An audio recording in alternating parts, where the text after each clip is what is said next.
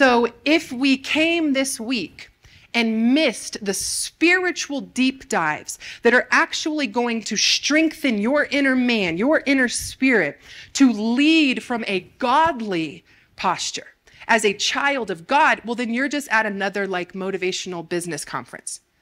And you could pay thousands to go hear the most beloved business people and entrepreneurs and what's his name? Tony Robinson. I don't know, just motivational people.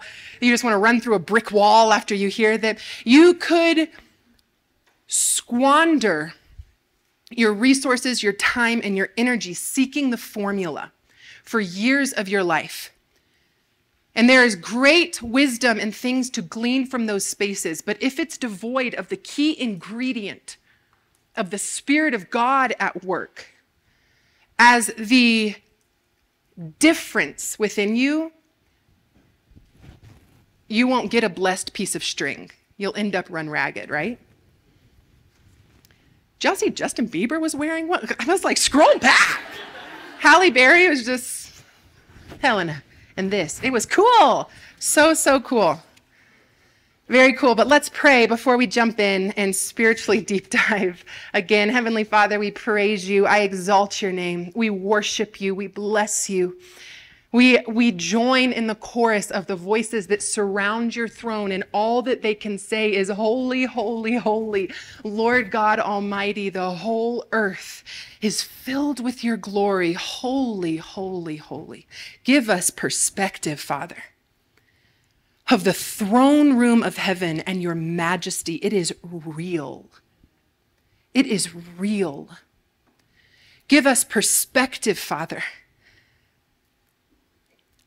of the magnitude of your creation and the power of your plan and the perfection of your design and all that you are bringing to pass as you were, as you are, and as you always will be. Give us perspective that we are a piece in the grander story. And what a privilege it is to be known by you to be loved by you, to be used by you, to be formed and fashioned by you. Give us perspective tonight, Father. Let us walk in a manner worthy of the gospel that we might see kingdom come here on earth as it is in heaven, because we have found the key necessary to fulfilling the mandate of reigning and ruling in righteousness in every manner of spaces we inhabit. Holy Spirit, just fall afresh on us. Illuminate your word, draw all unto yourself, and we bless your name. We bless your name in Jesus' name. Amen. I was in my room earlier, and the Lord spoke to me as I was praying again. What do you have in mind? I was talking to someone earlier, and it was so neat because she was asking, How do you know when you speak if it's from the Lord or if it's just your own thought or if the enemy is deceiving you? And I'm like, be comforted. I'm 11 years deep into responding to this call to ministry, to leadership in this capacity. And if I showed you my phone right now, you would see one hour ago, I was texting my husband saying, I need your intercession right now because I have many things I could speak on, but I need to know what the Holy Spirit desires be spoken on for this moment, this space to these people. I need, I need you to pray. And the uh, man who disciples us is 60 years old. The way that he prays for revelation and insight. He'd be the first to say that if in any given moment we think we are perfectly equipped and understand exactly and can take the reins ourselves, it's the moment we'll fall as you grow in Christ, the, the trajectory doesn't look like that of the world. It is actually looks a lot more like this greater and greater and greater humility, greater and greater and greater recognition of your need for the Spirit of God to speak, to move, to lead you, to counsel you, greater and greater recognition of your need to be sanctified, to be transformed, to be a holy vessel And so I was praying earlier, God, there's many manner of things I could talk on. What, what do you have in mind? And he said, Let them know the efficacy of their leadership is going to be predicated by their oneness with me. The efficacy of their leadership is going to be predicated by their oneness of me. Another way to say that is the potency of your leadership. The authority given from on high as you speak, as you lead, as you plan, as you pray, as you strategize. The potency of those efforts will be predicated, preceded by your yielded surrender and intimacy and oneness with God. There is no cheat code. There is no formula around it. The efficacy of your leadership is going to be predicated by your oneness with the Spirit of God. And if you go to Matthew 7 21 through 23, I wrote a whole book on this because where it encountered me in my life was a place where I had been walking with the Lord, serving the Lord, ministering, teaching, traveling. And yet, one day, as I was rocking my daughter down in a chair, um, I, I, it was like I set up as she was falling asleep, and my spirit just like was gasping for air. Whoa, I feel so far from you, God. What is this? I feel so far from you. I am doing all the things. I look in the world's eyes like the manner of my ministry is successful. New York Times bestseller, thousands and thousands of books across the world sold, traveling, the demand on our schedule. Y'all, there was a month we traveled, we spoke 19 times in one month. It doesn't even make sense. Almost crushed us. But from a worldly perspective, it was like I'm doing and it's being blessed and I'm going and I'm serving and I'm I'm in the space of working unto you. So why am I sitting in this bedroom rocking my child down about to cry out of Father, I feel so far from you. That is an under-discipled space in the body of Christ. When you've been walking with him and yet if you really sat down in the honest moment, you're like, what is happening? And he led me to this scripture, to this passage that when I was a newer believer, I'm, I, I think I came across and I didn't understand it. And so it felt so scary to me and it felt very condemning. And I was like, no, that applies to the non believers. So moving on, like I, I wouldn't even wrestle with it. And yet, as I sat in that room rocking down Asher, and my spirit like cried out, he reminded me of this scripture, and I want to bind right now in the spirit realm any spirit of condemnation by the blood of Jesus and the authority given to me by the sacrifice of Jesus, whom I serve. I bind every unclean spirit of condemnation that would seek to steal, kill, or destroy peace and understanding in this moment. I cancel your assignment. I cast you out and send you to the pit where you belong. Holy Spirit, I ask that you would give understanding and revelation and peace as we unpack this, Lord. That conviction may come by your hand, God, but that condemnation would not rule in Jesus' name. Matthew 7 21 through 23 is where he took me. And it said, Not everyone who says to me, Lord, Lord, will enter the kingdom of heaven but the one who does the will of my Father who is in heaven. On that day, many will say to me, Lord, Lord, did we not prophesy in your name and, and cast out demons in your name and do many mighty works in your name? And then I will declare to them, I never knew you. Depart from me, you workers of lawlessness. And I was like, Lord, I feel as though I'm in a tough spot and this one's not maybe the tweetable scripture I was hoping for. If you could, hit me with something lighter. And he was like, No, it's time you wrestle with this one because this is not a scripture of condemnation. This is the greatest invitation to the heart of God. And so I wrestled with this. And I began to realize wow, this passage is not to the non believer, this is to the church. In fact, the people who are standing before him proclaim, proclaiming his name are actually people in authoritative leadership positions in the body. By a show of hands, who in the last week cast a demon? Amen, girl, me too. It's good. Helen, that's my girl. We got to spend more time together tomorrow.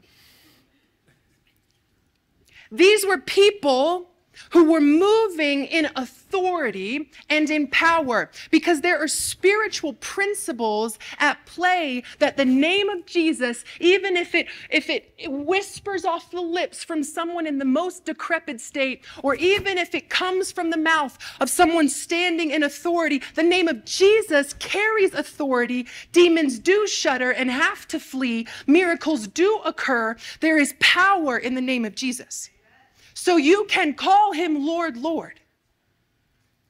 You can prophesy. You can cast demons. You can be authoritative. The principles of the spirit realm are still going to operate because his principles are set in stone.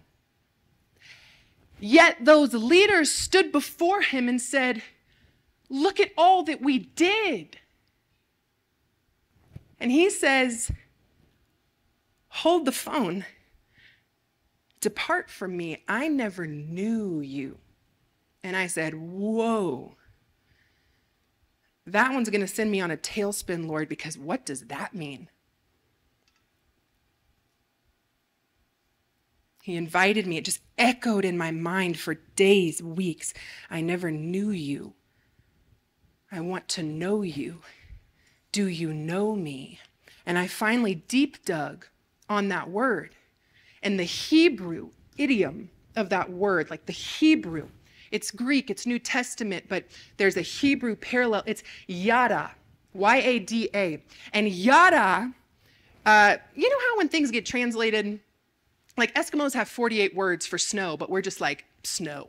It's like there are ways in the English language that you may see a word through the scripture as it was translated, but its intention can have many various meanings. And so this no, this new, it is yada, yada. And I began to look through the word where yada appeared, and in every manner, it was in a, a, a conversation point of intimacy. And Joseph had not yet known Mary. And the man took his wife and he knew her. And God says, I desire the Israelites know me. In those contexts, it is speaking to yada. And yada, by the simplest explanation, is the deepest, most intimate, vulnerable, transformational form of connectedness and oneness. It is intimacy. Think in a marriage. A husband and a wife come together to become one. That's what Jesus was saying here.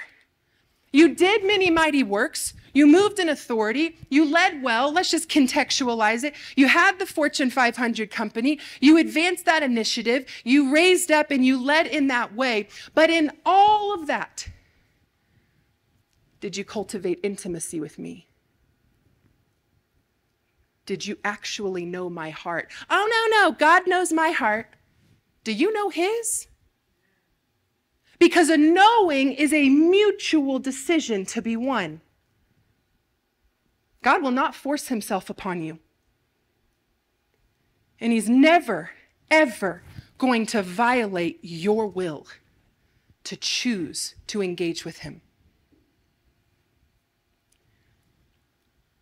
I had many manners of sexual brokenness that confused me. The word intimacy in God brought up many manner of things that I was like, this is very awkward. He had to heal me. Intimacy is his design. Oneness was his design. Oneness is the gospel. You remember in Genesis, we hear it at every wedding we go to. Um, and, and right from the beginning, the man will leave his father's house and he will come and, and retrieve of the bride, and the two will become one flesh, and together they will be naked and unashamed. I love it applied at weddings. It's beautiful because it speaks to marriage in the natural. It was a prophecy of the gospel because who left his father's house to come and dwell amongst us? Laid down his life to retrieve his bride, the church in that the two, Christ and the church, you and I, are intended to become one, that we would stand before the Father in the end naked and unashamed spiritually, because in that oneness we were transformed, we were sanctified. The Word of God says that when we stand before the Lord, we will not stand in fear because we have been perfected by love.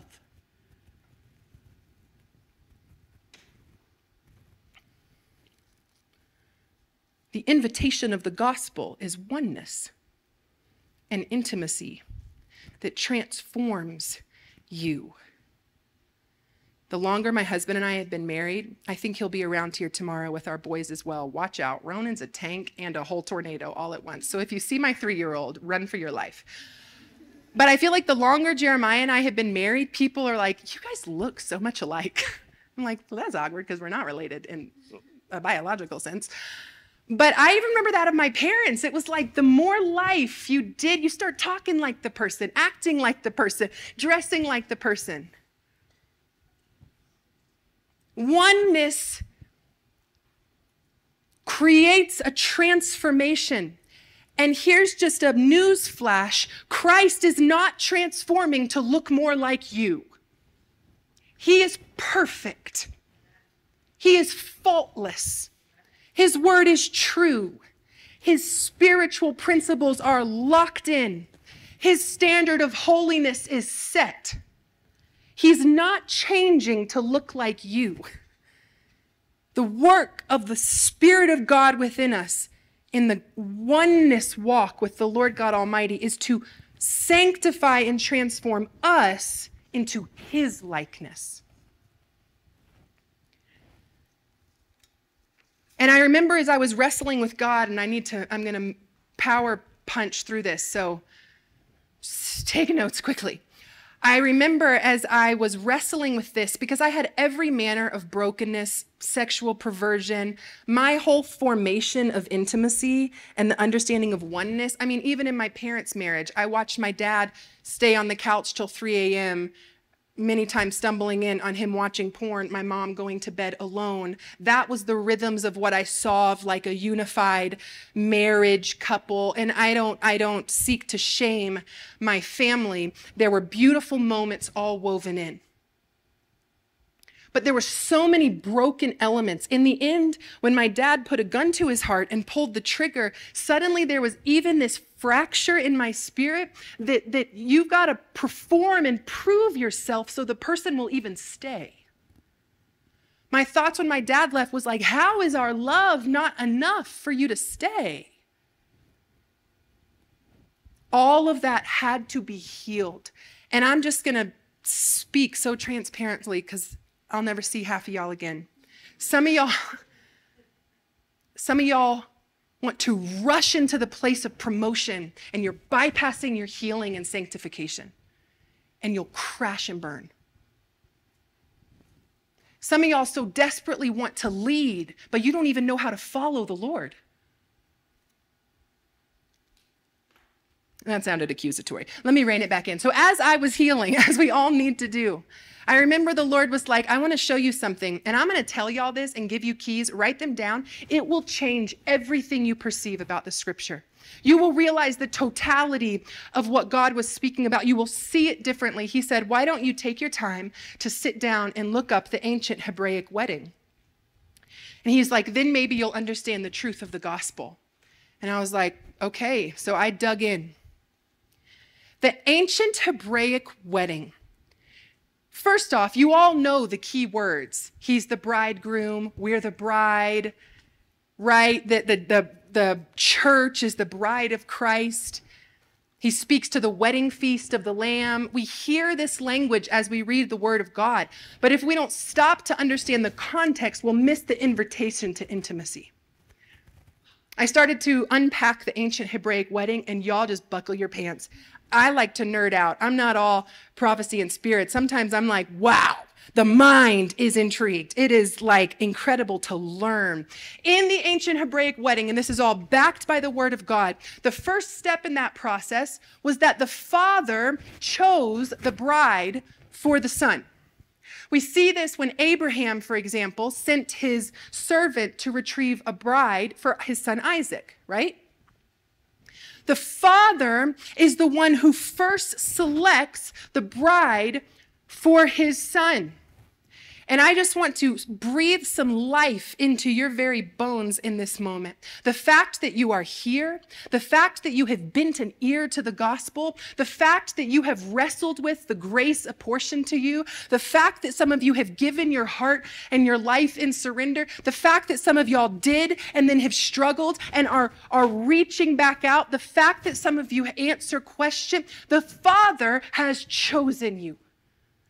There is a grace that is at work in your life, even if you are at baby step. Maybe some of you aren't there yet, but you're here. So receive what the Father's putting down. Pick it right back up.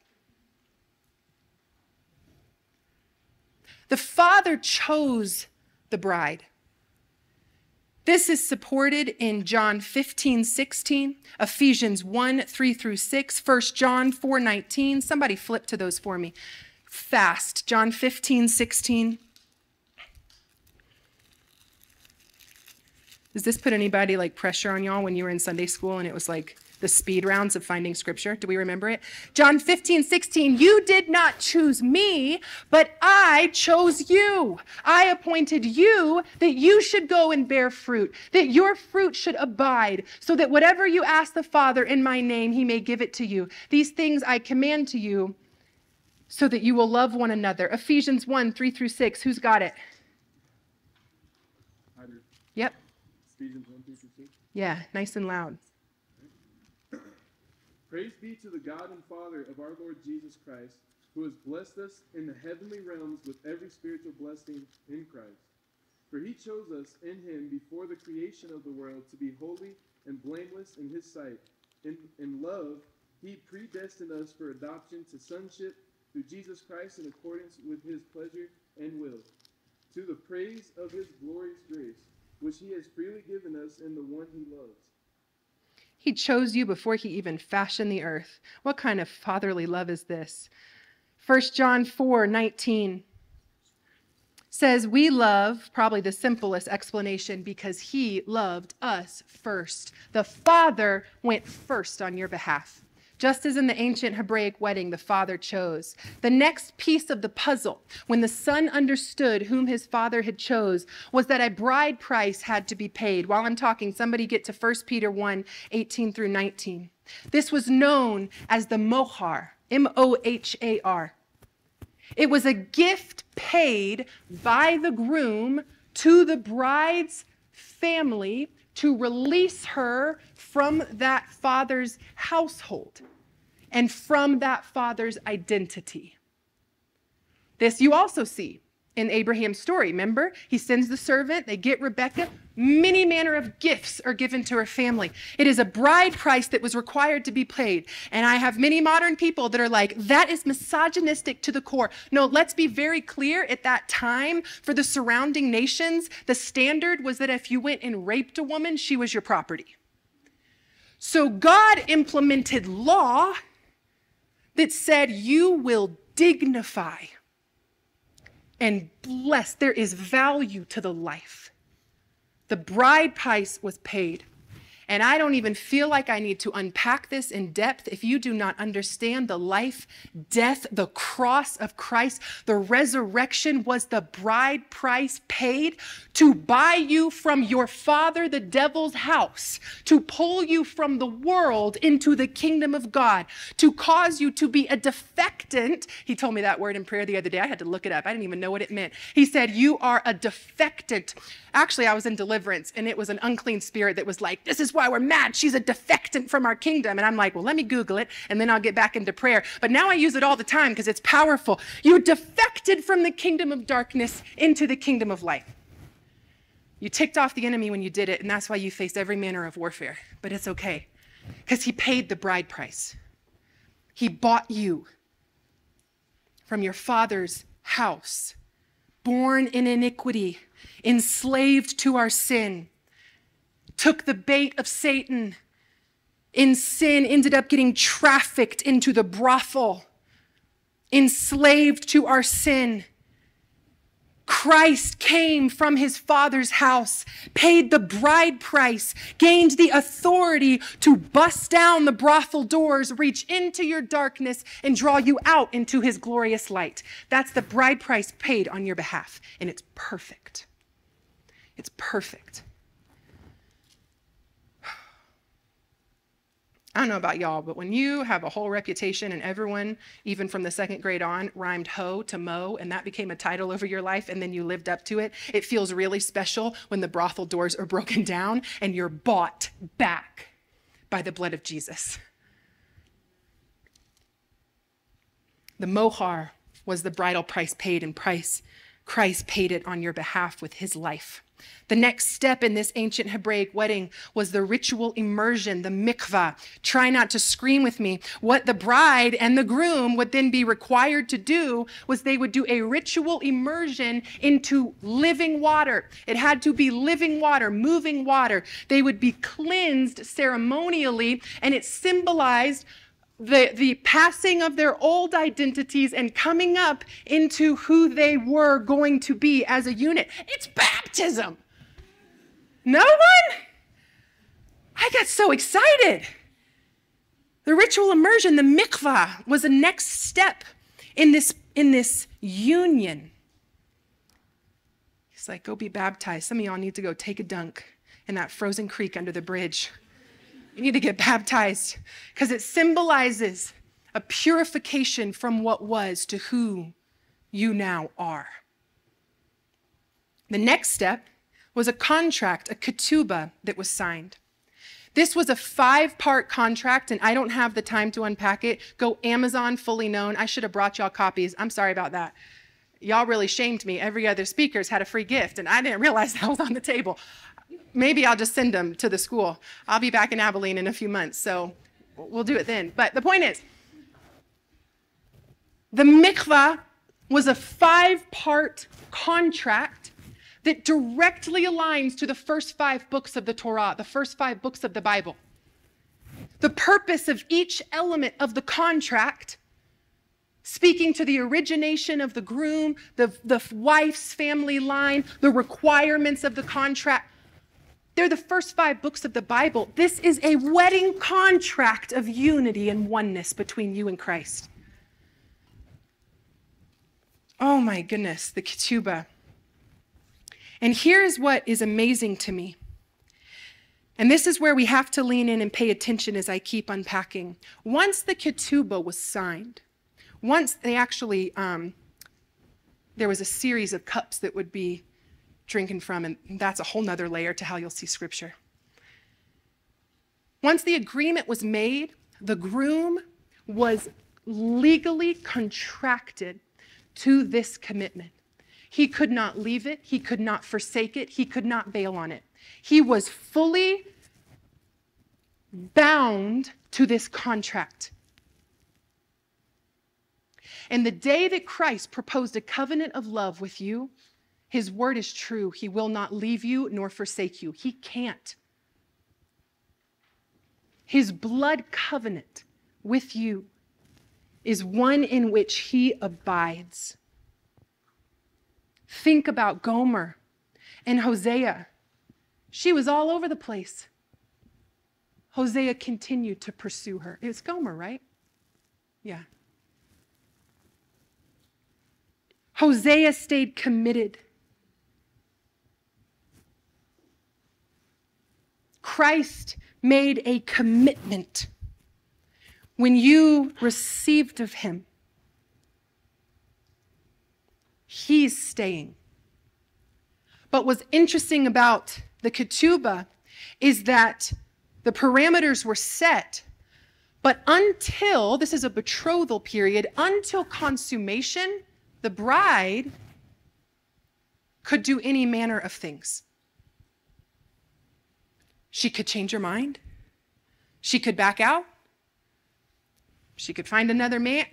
We're going to look at why. There's a time period, a process. The groom was committed. The bride had to willingly, by her free will, remain in this mutual commitment. And so that's why the next element of this wedding was the bridal dowry that was paid. It was a expression of the commitment that she would bring to the table. And your bridal dowry as the bride of Christ in a mutual commitment is the mutual laying down of your life unto the kingdom of God. Christ paid the bride price of laying down his. Our bridal dowry is to live a fully yielded life.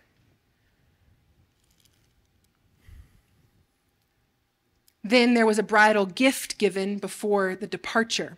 Because here's what's so wild. My husband and I traveled to Israel a few years back. We went and had a meal at this home that was in a neighborhood. This is Israel. This place is ancient. I'm not talking about your HOA down the street from you. This is like the structures are fantastic. And there were several of the homes in that neighborhood, as you would call it, that were under construction. And when we got in the bus after and we were asking people, hey, what is going on? What's with all the things under construction? Because these are like old buildings and looks like things are being added on. They're like, do you not know the scripture? I was like, well, I don't know. Should I? They're like, it's custom. The groom goes and builds a room onto his father's house for he and his bride to live. And I was like, by the Spirit of God, wow.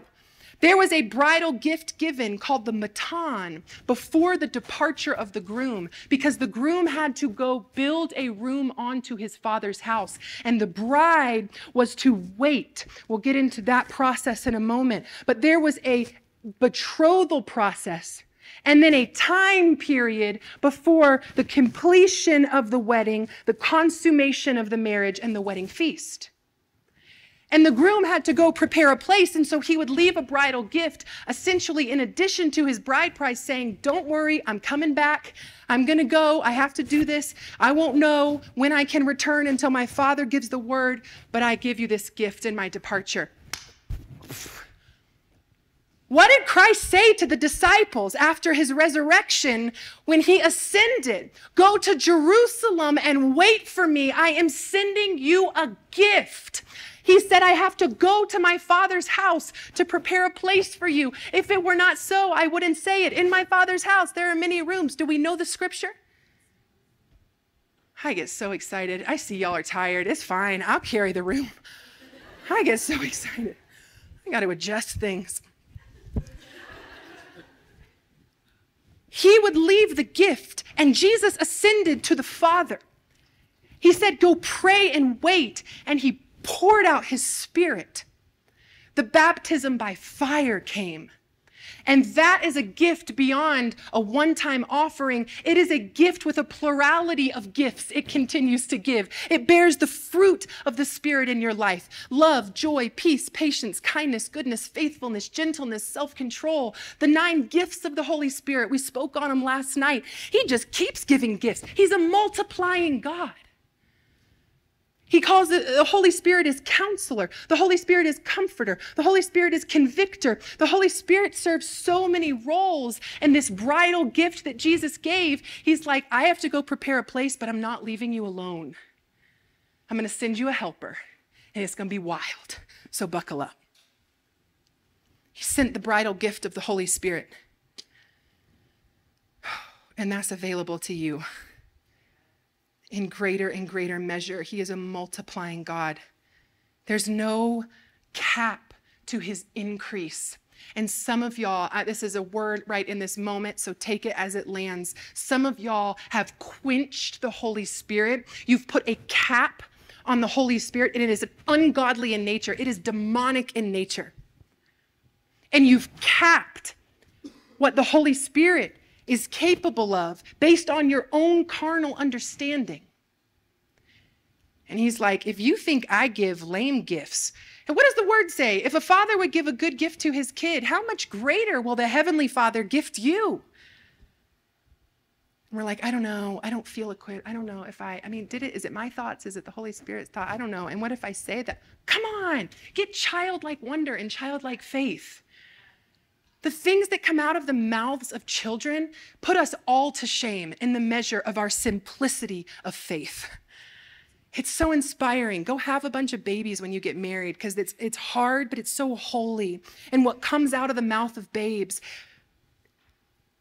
uncaps mine and my husband's faith constantly. Unless you become like children, you will not see the kingdom. That's what the word says. So he'd send the bridal gift, and then the groom goes, John 14, 1 through 7. And what's so profound, we see it in Mark 13, 32 through 33, is that Christ himself is awaiting the word from his Abba Father to when he can go and retrieve of his bride. And this process, when he gives the gift and then he departs, is known as the Kiddushin period. The Kiddushin period. It was the time for the bride of preparation to get her bridal garments ready to be awaiting her bridegroom's return, to gather her bridesmaids, to be poised, waiting. What do you think Ruth's posture was when Boaz is out as the kinsman redeemer petitioning the other men? She's waiting. She's waiting. I made my petition before him. He, he's showing me mercy. I'm waiting. I'm waiting. We are called to be awaiting our bridegroom's return. And in that time, engaging with the Holy Spirit to make ourselves ready. And yes, that has a long arc purpose to it. And I'll read the scripture in a second that speaks to why. But it is also for, in this Kiddushin period, the effective power of God to be worked in and through us to the world, to reach the least and lost, to build, to lead, right? There's an ebbing and a flowing to leadership.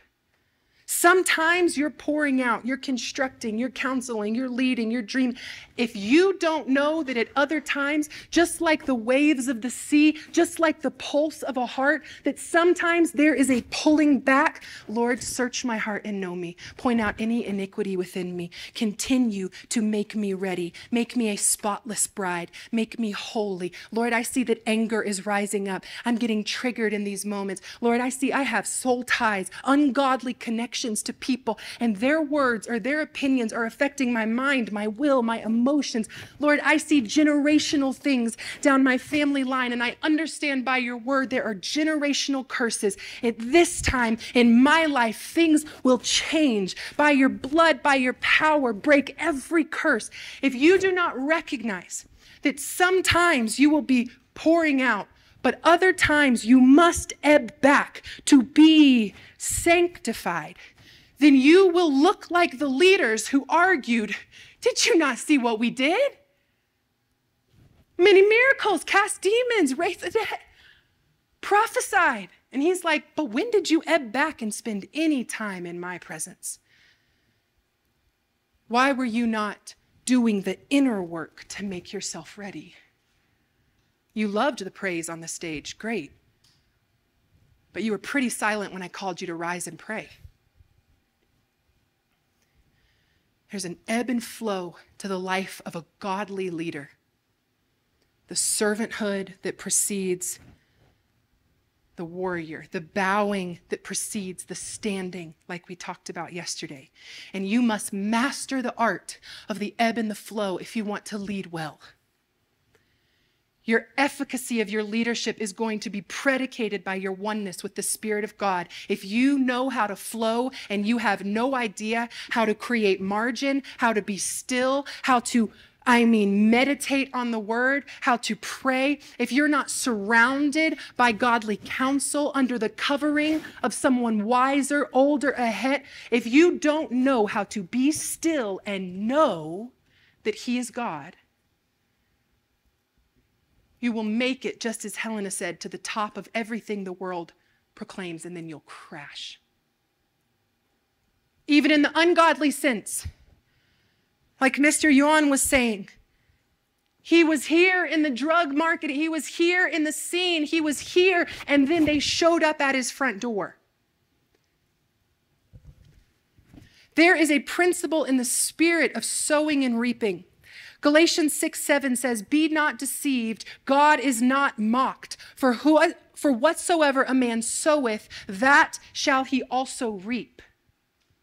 You can't cheat the system. There's no cheat code. Your addiction to pornography has to bend a knee and bow at the name of Jesus. You have to fight like hell to get free. Sorry about that. You know, I mean it in the biblical context.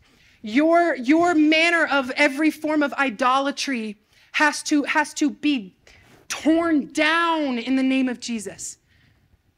Because here's how Satan works, and this is just keys into the spirit.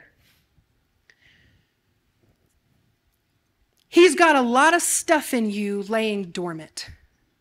I'm, I will testify I used to think, oh, I pray a prayer one time and then the Holy Spirit is the only spirit that has any control over me. Yeah, right. Am I at the measure of Christ? No. Why am I popping off when I'm triggered? Why am I still struggling in addiction? Why am I having all the manner of things that are hindering me from walking in the fullness of Christ? If man says he does not have sin, he deceives himself. There are many things here that you want to handle, Lord. I recognize it. I see it.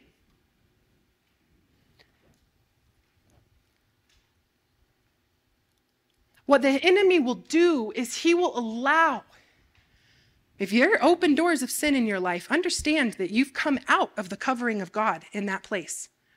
God doesn't want it for you, he speaks to it. He's given you everything you need to live a godly life of righteousness. But if you, by your free will, choose to open a door in sin, you, you welcome in the challenges.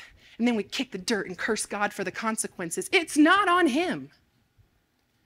If there are open doors of sin in your life, the enemy will enter in and lay very dormant.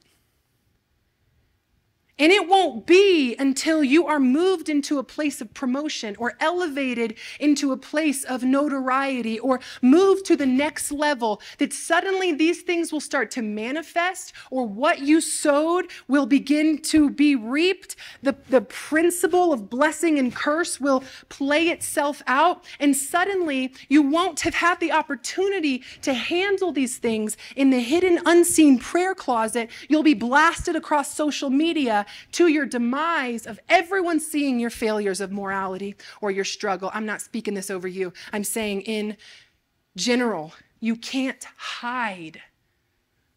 You can't cheat code. Proverbs 28 13. Whoever conceals his transgressions will not prosper, but he who confesses and forsakes them will obtain mercy.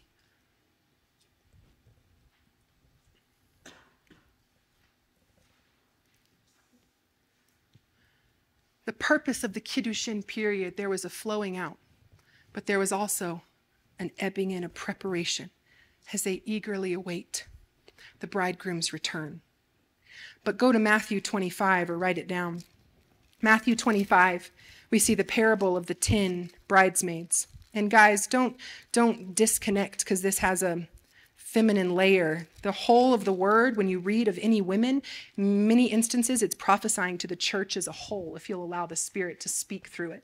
So don't shut down like, well, I don't know about that woman at the well story. I'm a man. No, it's applicable. In Matthew 25, the parable, this is a parable, this is parabolic. Jesus spoke in ways that the logical mind could not quickly grab hold of in pride. It had to be discerned by the Spirit. And those who were willing to humbly leave it, lean in and receive, like got the decoding from the Holy Spirit, right? And those who didn't scoffed at the things. This is a parable. Then the kingdom of heaven will be like 10 bridesmaids who took their lamps and went to meet the bridegroom. They're waiting. They're waiting, their lamps are burning. It was often the midnight hour that the bridegroom would come. If y'all study the biblical feasts, oh my goodness, it'll also blow your world up. The bridegroom would often return at the midnight hour and they'd begin blowing his, his fellas, announcing the coming of the bridegroom. It would rile up and wake up the whole street. And, and the, the, the, the groom or the bride would have to have oil in her lamp and be ready, prepared, awaiting his return. Then the kingdom of heaven will be like 10 bridesmaids who took their lamps and went to meet the bridegroom. Five of them were foolish, and five of them were wise. For when the foolish took their lamps, they took no oil with them. Oil prophesies the anointing, the Holy Spirit. You're not going to make it through this life calling yourself a Christian and saying, Lord, Lord, if you do not have the Holy Spirit leading every step, every word, every thought, working out your salvation with fear and trembling. These 10 bridesmaids are speaking to the church. For when the foolish took their lamps, they took no oil with them, but the wise took flasks of oil with them. As the bridegroom was delayed, they all became drowsy and slept. But at midnight, bing, bing, there was a cry Here is the bridegroom! Come out to meet him! Then all of those bridesmaids rose and trimmed their lamps. And the foolish said to the wise, Hold up, hold up. I added that. Give me some of your oil, for our lamps are going out. But the wise answered, Since uh, there will not be enough for us and for you. Rather, you go to the dealers and buy for yourself. She's like, no, no, no, let's be very clear. I saved this up for myself. And while they were going to buy, the bridegroom came, and those who were ready went in with him to the marriage feast, and the door was shut. Afterward, hear me, turn on your ears, the other bridesmaids came also, saying, Lord, Lord. Matthew 7 21 through 23. Open to us. But he answered, Truly I say to you, I do not know you. Watch therefore, for you know neither the day nor the hour. It echoes Matthew 7. In Jesus' name, no one in this room and no one in your sphere of influence will lack the oil that we are intending to acquire in this Kiddushin period. Holy Spirit, more of you, more of you and less of me. Your will and not my own. Boom. Jesus in the Garden of Gethsemane. You know what Gethsemane means? It means olive press. We stood in the garden when we were in Israel. It was where the olives were pressed for their oil. What a coincidence. That's where Jesus was when he was pressed to the point of sweating blood. And what were the words that were leaving his lips in this pressing, this pressing? If there's any other way, but God, your will, not my own. Jesus exemplified, exemplified the ebbing into the presence of God and the oil that comes forth when the words that leave our lips are your will, not my own, your way, not my own, your plans, not my own, your standard, not my own. That's where you get the oil. You don't have to go find some charismatic creepo that wants to lay hands on you. Don't let him touch you. If the Spirit permits it, by all means, have the people of God lay hands and pray.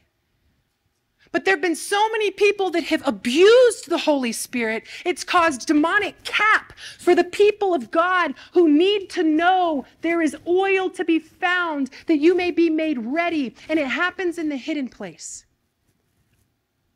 And this sanctification process you get the justification at the covenant and the contract. You get the sanctification in the Kiddushin period. And what comes after that? Somebody hit me with it. The glorification, straight from the scripture. This is the model and the rhythms. Do you know why the string was blessed? Because she removed herself to the hidden place and said, Your will, not my own. And he said, Be glorified.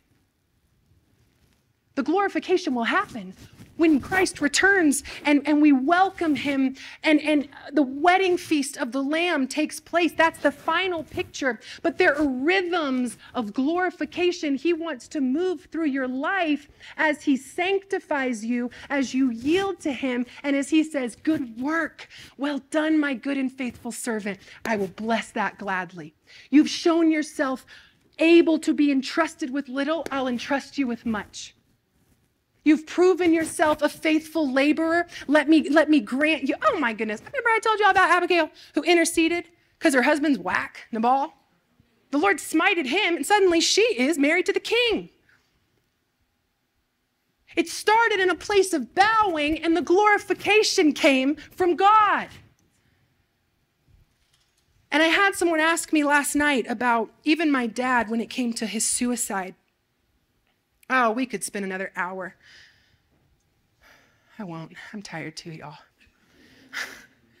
also, I need a new brand of deodorant because the one I presently have is not working. Anyone try to go organic or clean in various things, and then you're like, there's a reason. There's a reason we need chemicals. That's how I feel about deodorant. Um, I digress. what was I saying? Someone asked me about the fall of leaders. And what really excited me was that it was spoken to multiple times to you all today, examples of the falls that occurred. And many of us, what Satan desires, and don't get on to me for talking about Satan in the kingdom of darkness. The, the word of God says, don't partake in these things, instead, expose them. So stop getting mad at the charismatic people in the body who are pointing out what's demonic and pointing out the need for deliverance and pointing out the things of darkness. They're doing the labor that many are too scared to do and exposing the kingdom of darkness so that his people will not perish for lack of knowledge. Stop doing yoga and stop worrying about the Enneagram, and we'll talk more later. What Satan will do and what he wants to do is he wants idolatry in the church in every manner. And that includes idolatry of leadership apart from a healthy embrace and respect. And the worship of Jesus as king.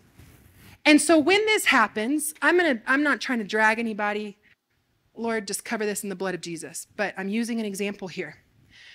When you have someone like a Ravi Zacharias, an idolatry that were in many people's hearts towards him, that when he fell, people could not believe it. People left the church. People who, who, oh, sometimes I just want to grab Ravi up and be like, what do you do? But really, it's what did Satan do in and through the open doors to now not only cause a fall from leadership, but the shock waves that take many out with it. And this happens, and it shouldn't happen. Jesus is not pleased with the condition of his bride. But it happens because many leaders will be elevated maybe by the world will get increased influence or money or whatever it may be. And if they're not ebbing back and in a fully transparent posture, regularly saying, God, I still need refining. Search my heart and know me. Sanctify me. Point out any iniquity in me. Pride will come before the fall, but the word of God says, if you humble yourself before me, I will lift you up. You cannot lead with any potency or any efficacy for the long haul if you do not plead God and practice humility. And it, it, it, drives me crazy when there are instances of a fall. It hurts my heart. It like literally grieves me. I get sick to my stomach. because I see the shock waves of it. And the people start blaming God and the people start cursing the church. Can we understand that we all have a free will? And we all can choose. Let your choice be for the Holy Spirit to carry out his work, for the Kiddushin process to be what you're yielded to. Let your choice be to ebb back let your choice be to break every connection to every voice and every old mindset and every thought that would say, oh, oh, You're not keeping up with the pace of the world. Do you want to know why the bride of Christ is struggling? Because it's just modeled the world's business model. I don't know how to unpack that effectively. I just realized this is also a business and leadership conference. But the, the, the reality is that your leadership and your business will be blessed if you model God's way. But if the church tries to model the world's way, we end up with a mess on our hands. By a show of hands, who rhythmically is Sabbath resting with the Lord? Amen, girl. Every one of you needs to get intentional about your schedule and practice Sabbath rest. It's a command. Remember the Sabbath, keep it holy. It's a privilege when you know the maker of the heavens and the earth to say, I don't have to run myself ragged. I don't, I don't have to die by the pressures of the world. You mean I get to sit back for a day and rest in your goodness. I get to not call those people back. I get to, leadership, plug your ears. I get to not work on that schoolwork. I get to rest. It's my birthright as a child of God. I get to rest. It's your birthright. Stop emulating the world. Let the word of God inform how you lead. Engage in the Kiddushin process and be sanctified so that as the Lord God Himself promotes you, you will not live in fear of what's going to be exposed because the stakes will get greater every time. And the longer you hold on to that hidden sin, the more fear is going to cripple you, the more sin is going to cripple you. And you'll hear that wicked voice of the adversary always. It's like, oh, it's like a knife down my spine. Is not freedom. You'll hear it always. Just wait. I still have this on you. I still have this on you. You'll never get free of this. If they only knew X, Y, or Z, I still know what you did. He he's the accuser. And until you silence his voice by literally allowing Christ to crush the head of the serpent under his heel, until you behead the serpent and cut off his voice by prophesying the word of God and truth, by actively living in a heart, a lifestyle of repentance, by throwing off the sin that so easily entangles you, by fleeing fleeing sexual immorality. Until you apply the blood of Jesus and decapitate the serpent, the potency of your leadership won't carry the power it's intended to as a child of God. And I really, really, really, if you can't tell by the sweat on me, want you all to be potent, effective, kingdom shifting leaders. And so, no humility and no rest and no the ebbing back. And if you don't know it, fight to know it and apply it to your life. And get really, really good at saying no, because I heard a pastor say this one time, it's really helpful. Many of your no's will be even more anointed than your yeses. Y'all are ragged because you aren't exercising godly boundaries. You say yes to people please, you fear man's rejection, you want man's approval. In every manner, you're getting led on a wild goose chase, and that's not God's will for you. Allow the Holy Spirit to lead you, speak to you, teach you. Holy Spirit, come like tongues of fire on these students. Fall afresh. Fill us. Fill every vessel with the overflow of oil. Thank you, Heavenly Father. I think of the woman who was about to run out. She was on her last leg, and the prophet told her, Go get every vessel you can find, every jar you can find, and bring them in here. And you gave oil, oil, oil, oil, oil, oil unto overflow, Father. Would you fill every vessel in this place with your oil, God? Would they learn how to ebb back? Let me just be so clear you're not going to receive of the oil because you just want it. You're going to receive of the oil because you obey God. She obeyed the prophet. That's how the miracle came to pass. Your obedience will be key for your increase. So we thank you, Heavenly Father, for your word that leads us in all truth. I pray you would increase as they obey. I pray, and it's a hard prayer, but I pray they would feel the lack until they obey. Just as Christopher Yuan's mom prayed, whatever it takes. Lord, I pray you would do whatever it takes in their lives, that they might become people who hunger and thirst for righteousness hunger and thirst for righteousness. To them is given the kingdom. Let us be partakers in the kingdom in Jesus' name. Amen. Thank you guys.